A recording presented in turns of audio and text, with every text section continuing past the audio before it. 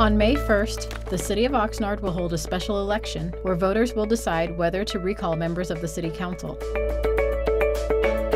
Special election simply means an election that is scheduled at other than the usual election date for a specific purpose. This election is being conducted entirely by the City of Oxnard, while general elections held in November are handled by the County of Ventura.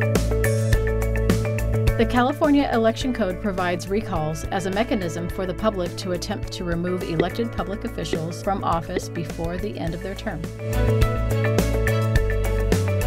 In a recall, voters make a choice for each individual office in a two step process.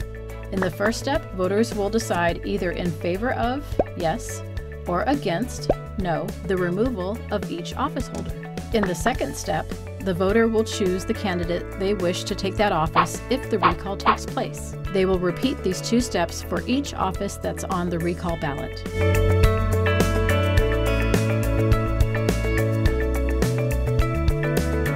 Yes, it is. The yes no step for the recall is independent of the candidate voting step. You can vote in both steps, or one, or the other, or neither for each office. Voters are encouraged to complete both steps, regardless of whether they are for or against the recall, to fully exercise their right to vote.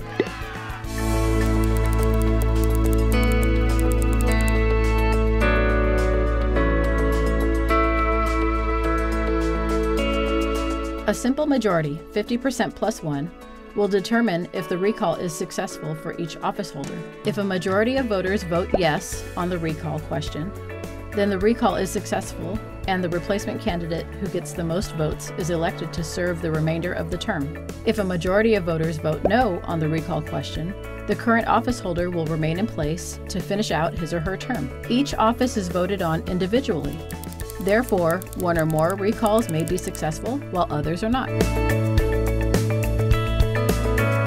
If you already automatically receive a ballot in the mail each election season without requesting one, that means you are a permanent vote by mail voter, and you will receive a ballot in the mail for this election as well.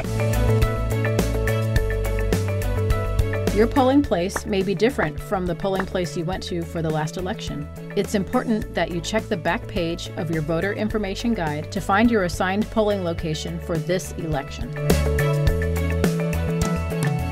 It is anticipated that the tabulation process will be completed by May 22, 2018. The city's website, www.oxnard.org, will be updated periodically with semi official results until the final certification.